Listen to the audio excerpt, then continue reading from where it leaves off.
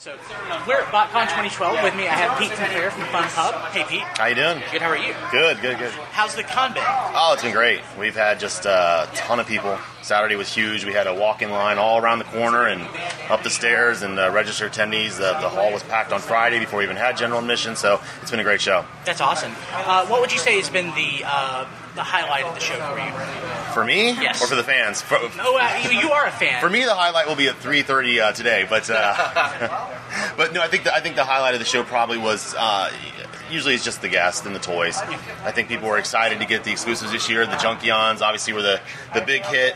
Um, Spinister did real well. Uh, Prime people loved it. So I, I think the toys is always, and of course just seeing some of the you know the, the voices behind the characters, David and Buster and Dan and Gary, and of course Derek J. Wyatt was here, and um, Simon Furman and Abby Collins being inducted to the Hall of Fame. So it's just been a great weekend all around. Uh, personally, for me, the uh, highlight was the uh, reveal of the uh, subscription service, which I, I Oh yeah, yeah. I guess you know I should plug my own stuff. Uh, of course, yes. The subscription service is huge. Um, we're very excited about it. How long we, have you been working on it?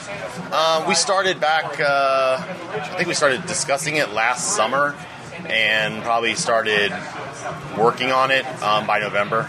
And we already had the decos done. Uh, We got the decos done a few months ago, so it's, it's already been well into the the, uh, the pipeline. So, what was of the uh, ones that uh, we see for this coming year? What's your favorite? The Ultra Mammoth.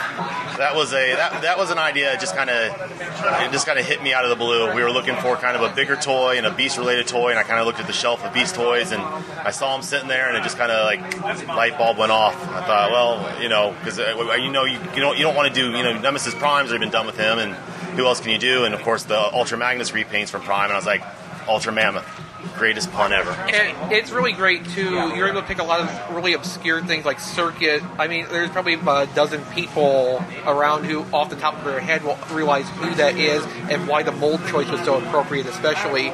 And like the the kickoff.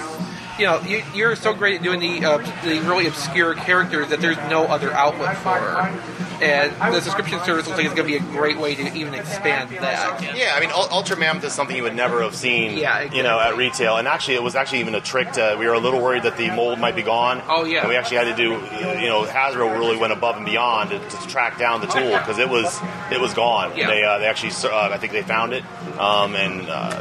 We were just thrilled that they actually found it. So Is- is it's kind of freaking out. I'm like, what are we gonna? What other big toy are we gonna do? But Is there anything you can tell us that would be like on your short list for the next round of subscriptions, if you could have anything? Blue Sky, and even if Yeah, you can't like- do yeah. it, what would you Well, like I mean, what, what, would be, what would be your dream thing to do for the next round of subscriptions? Man, I, you know, honestly, I, I don't even know.